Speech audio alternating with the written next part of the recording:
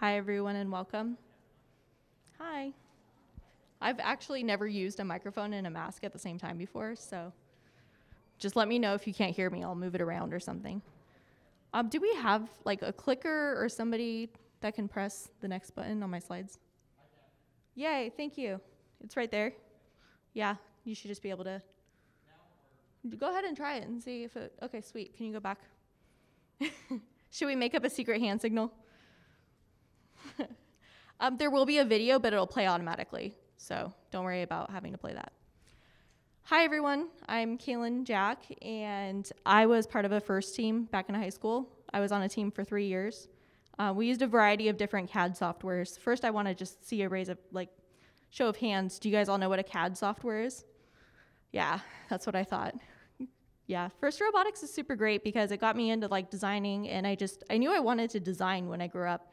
And as I designed more and more and got internships, I found that I just I loved SolidWorks and I loved working with SolidWorks. And so I decided I wanted to do that for a living. So I really like what First Robotics does for teams and for students and helping them get set up with careers for the future. So I wanted to come back and kind of give back and let you guys know how you can get some free SolidWorks. How many teams are currently using SolidWorks?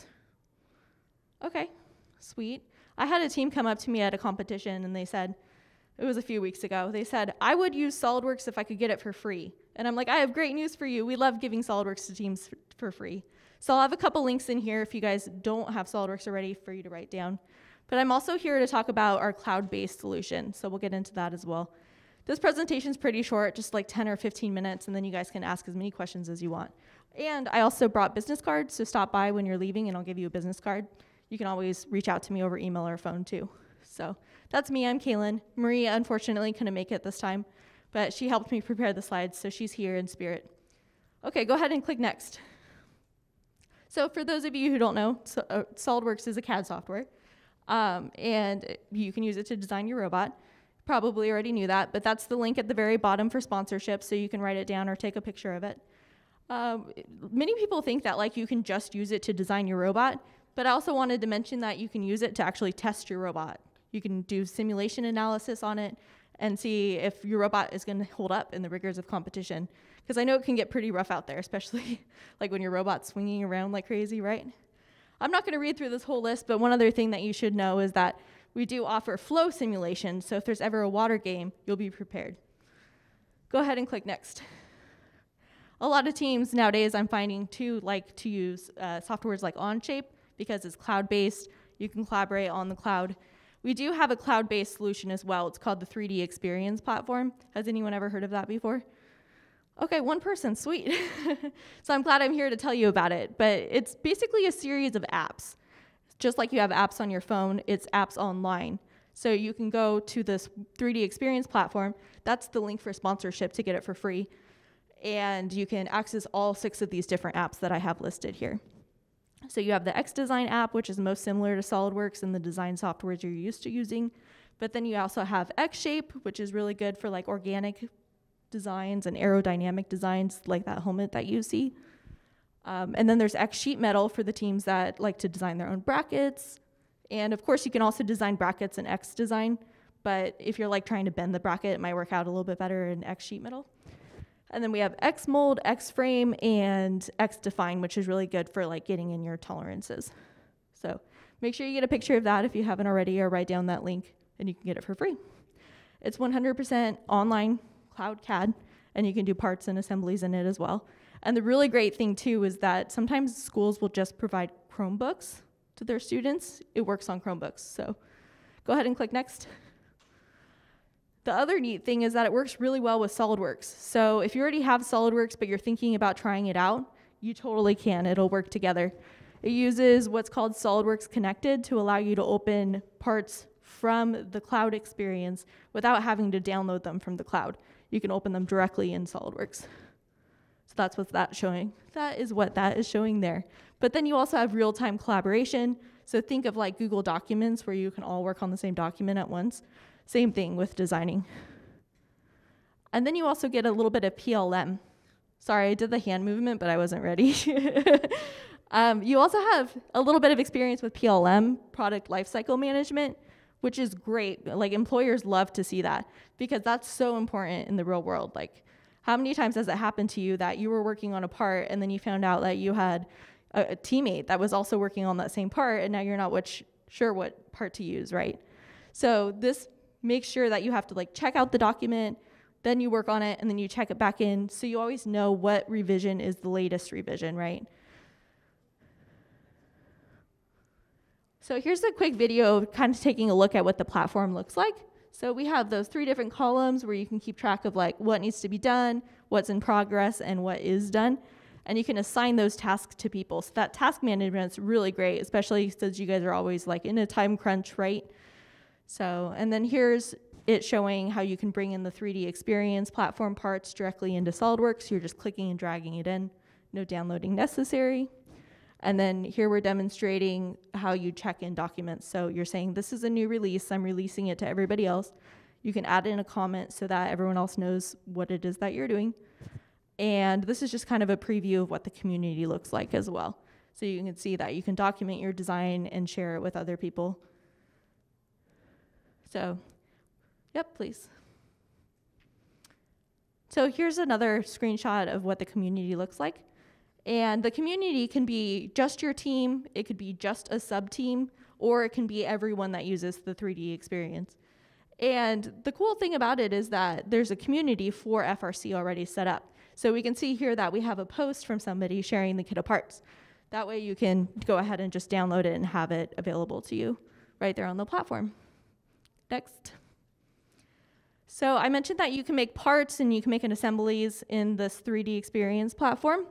But coming this summer, you'll also be able to make 2D drawings. So, like I said before, like it works on all sorts of different devices. You can do it on iPads as well. So maybe like your machining team has a tablet and you want to send over the part to the machining team, they can open it right there on their tablet. You don't have to go through the process of making a drawing if you don't want to, but we took feedback from teams and we decided to make this an option just in case this is what you're used to and this is what you want to do. So that'll be coming this summer. Definitely check out that link. You know, you can get it totally set up during the summer and be using it by next season. So your question might be, how do I learn how to use this new platform? Like it is relatively new, especially compared to SolidWorks, which has been around for like dozens of years now. we do have the learning library, so that's built into the platform. So once you get set up on the platform, just look for this learning library. It'll be under the Learn tab. And you can go through all these different modules to learn all about this different platform and the, like the capabilities of it too. Like a, a tool is only as good as how you know how to use it, right? Okay, go ahead and click next. So this is how you sign up. It's super easy. I know it when you hear sponsorship, you get kind of scared like I'm going to apply and I don't know if I'm going to get it. Well, you will get it. Like we give this to every single team that applies. And to do it, you just have a mentor go to that link or the link that I showed you before. Make sure you select the See More next to the first robotics team. And then make sure you select that you're a group because you are a group, you're a team. And then your mentor just fills out this form with your email addresses, and that is what connects all the users together so that everybody is working together on that one platform. Go ahead and click next. Oh, and the team members will get a link in their email they sign up for an account, and then the apps are right there ready to use. Yep. So that concludes the presentation. I know it's really short. Definitely ask me any questions that you have about this. And we also have a booth in the Innovation Fair, so stop by and chat with us there too. Thank you all. You guys have a great rest of your competition if you don't have any other questions. Yes.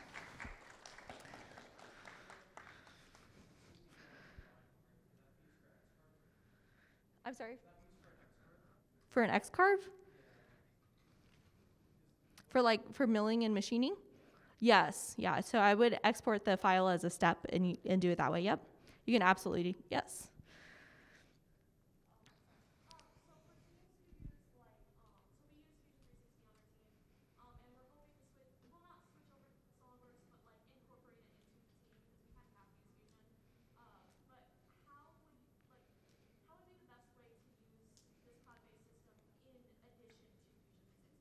Oh, absolutely. That's a great question.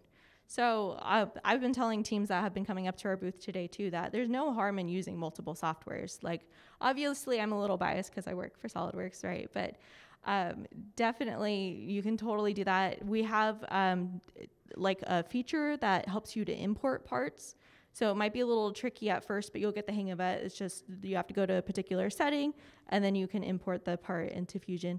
What I would recommend is maybe using it for the summer and checking it out during the summer and getting a feel for it before the build season actually starts. Yes. Oh, the link? Yeah. Would you mind going back a few slides? Yeah, one more. Yep. There it is. That that's for the platform link. Sorry.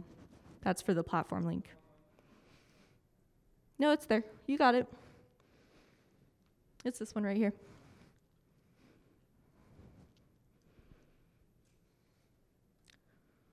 So that's the link for the free platform. And then if you want the link for the free SolidWorks, um, just stop by the booth that we have in the Innovation Fair and I'll give it to you again.